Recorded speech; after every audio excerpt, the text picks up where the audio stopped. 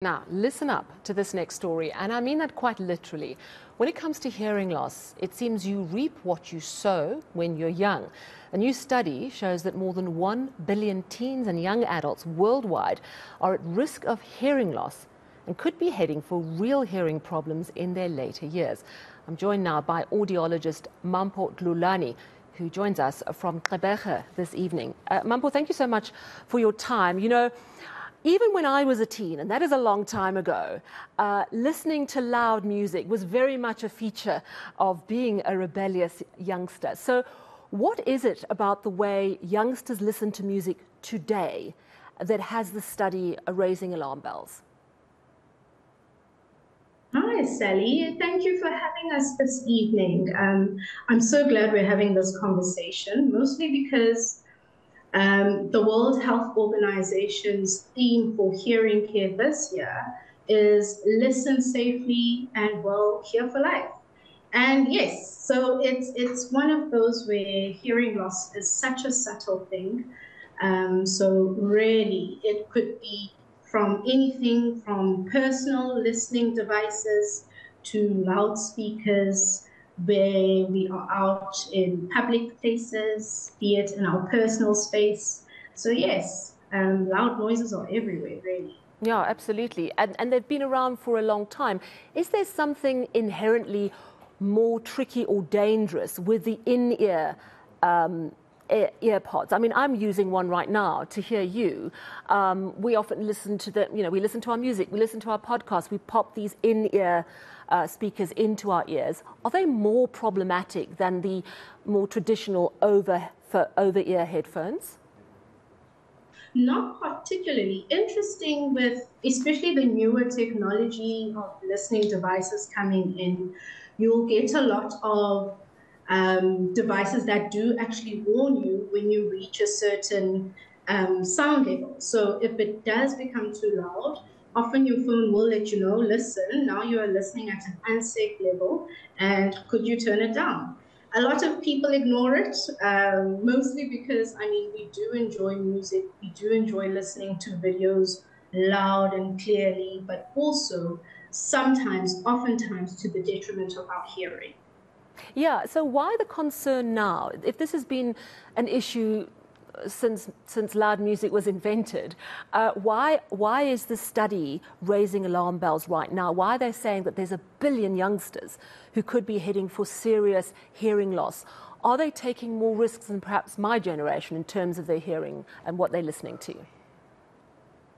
Not particularly that. I think also because we don't talk much about hearing. I mean, there are a lot of people from your generation that would now come in with hearing loss and they'll talk about their, you know, concert days and how fun things were back then. But now the ears are ringing, they aren't hearing their spouses clearly, they're fatiguing as they're trying to listen to conversation in groups and those situations. So it's definitely always been there. But again, because hearing or when a person isn't hearing clearly, it's not something you can overtly see. So it's one of those where it's a it's an invisible disability, and we do definitely try to get a lot more awareness out as mm. is AAA, as SASLHA, and we're trying to have these conversations more now because I mean there's a lot more access to personal devices. I mean, we do go out, I would say, maybe a lot more than you did way back when, but it's, it's definitely us as audiologists saying, listen, but also listen safely because yeah. as much as we like seeing people, we, we'd rather not see you for hearing loss. So if we can prevent it, that will always be our first go-to before we manage hearing you, loss. Yeah, you did mention that a lot of the new devices, some of the, the headphones have sort of limiting, especially for the little ones. Um, of course, you can override that. But is there a way, I mean, this study says that you're supposed to live, uh, listen um, at 85 decibel as the highest. Anything over that, up to 105, is what a lot of people are listening at. And that over the long term can be very damaging.